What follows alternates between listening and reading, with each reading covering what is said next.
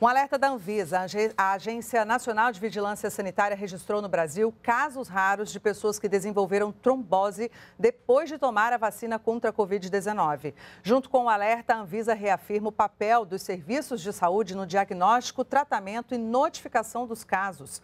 Mas tanto a Anvisa quanto a classe médica afirmam os benefícios dos imunizantes superam os riscos. Os casos de trombose foram verificados em pessoas que receberam vacinas contra a Covid-19 feitas a partir do adenovírus. Aqui no Brasil, são as vacinas AstraZeneca e Janssen.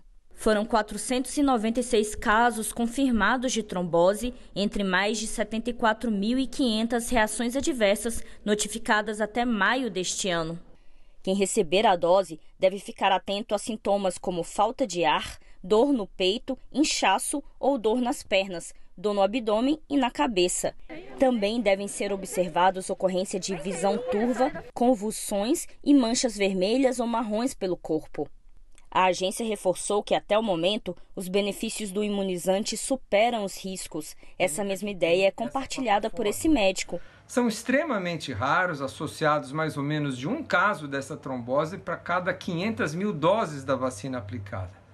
Não se trata daquela trombose habitual que nós estamos acostumados a ver, trombose profunda venosa, embolia pulmonar. Não, uma trombose diferente, associada aí a uma produção de anticorpos contra nossas plaquetas.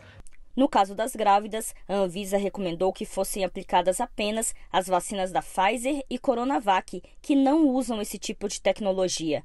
A Lídia veio tomar a dose assim que soube da vacinação. Ela recebeu a vacina da Pfizer. A gente continua tomando todas as medidas. E agora, depois que eu tomei a vacina, tudo igual. Máscara, sem aglomeração, a mesma coisa.